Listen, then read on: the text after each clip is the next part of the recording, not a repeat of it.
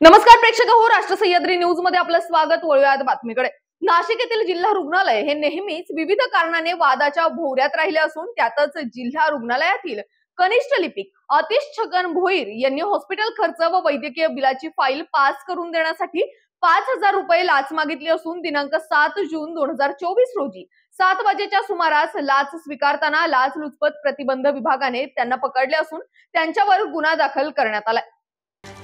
तक्रारदार यांनी त्यांच्या पत्नीचे सिझरिंग झालेली औषधोपचाराचे हॉस्पिटल खर्च ब्याण्णव हजार तीनशे एकोणऐंशी रुपयांचे वैद्यकीय बिल मिळण्याकामी वैद्यकीय फाईल सामान्य रुग्णालय नाशिक येथे सादर केले असता आरोपी अतिश छगन भोईर कनिष्ठ लिपिक सामान्य रुग्णालय नाशिक. यांनी वैद्यकीय बिलाची फाईल पुढील कारवाई करून लवकर आणून देण्याकरिता तक्रारदार यांच्याकडून एकूण बिलाचे सहा टक्क्याप्रमाणे पाच हजार सहाशे रुपयांची लाचेची मागणी करून सरजोड यांची पाच हजार रुपये मागणी करून सदर पाच हजार रुपये लाचेची रक्कम दिनांक सात जून दोन हजार चोवीस रोजी सात वाजेच्या सुमारास पंचसाक्षी समसामान्य रुग्णालय नाशिक येथील प्रशासकीय कार्यालयातील त्यांच्या कक्षात लाच स्वीकारताना त्यांना रंगेहात पकडले असून यातील आरोपी भोईर यांच्यावर गुन्हा दाखल करण्यात आलाय.